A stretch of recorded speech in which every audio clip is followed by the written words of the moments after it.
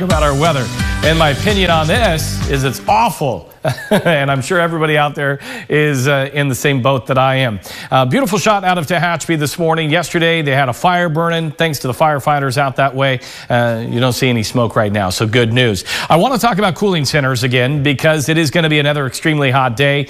And uh, cooling centers, when they are open, will operate from 1 p.m. to 8 p.m. You can call 1 800 510 2020 for more information on the centers, which ones are open, and location. So, wanted to make sure you had that number available on these very hot days. We're in the 70s for Delano, Wasco, and Buttonwillow. Bakersfield still sitting at that 81. And then we've got 60s and 70s into the mountains. 72 in Tehachapi and 77 out of Lake Isabella. Beautiful shot, I-5 over the Grapevine right now. And around the state, we're in the clear. We're in, in the heat uh, no matter where you go, except the coastal areas escaping that heat a little bit.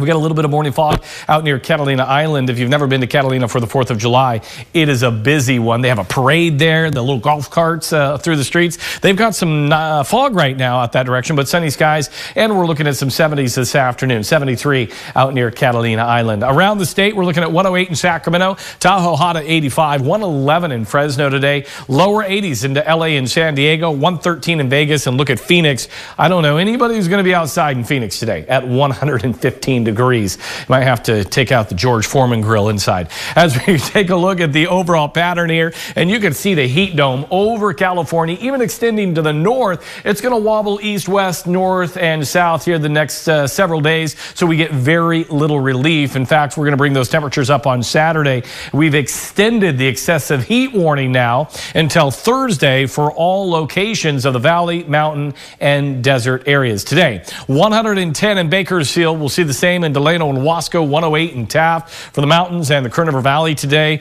we're looking at the 90s out of Frazier Park, Tehachapi at 94, right near 105 at Lake Isabella, 88, almost 90 up at Alta Sierra. For the desert locations, 113 in Ridgecrest and Mojave, you're going to be right near 108. Here's a look at the extended forecast, and we're going to bump it up uh, on Saturday to 113, and then we'll level things out again by next week, where Tuesday, Wednesday, we're right near 109. But again, keeping these temperatures above 105 and closer to that 110 mark. As we take a look at the Tehachapi area, by Saturday, you're at 100 degrees. You don't see that very often. And then 90s Sunday, Monday, Tuesday, Wednesday. Even overnight temperatures are going to be fairly mild for you, upper 60s to lower 70s. And then for the Kern River Valley, we're looking at 106 tomorrow, 109 on Saturday, and then bringing you back a little bit by next week, right near 106. So again, the extreme heat continues. If you are going to be out and about on this 4th of July, uh, just make sure you're staying hydrated uh, and watch uh, those around you as well. And remember, if we're lighting those fireworks, those safe and sane fireworks, have that uh, garden hose, have that bucket of water in place. All it takes is one star, a spark to start a fire around the area. And we don't want to put our firefighters in that with the heat that's in place as well. We'll be right back.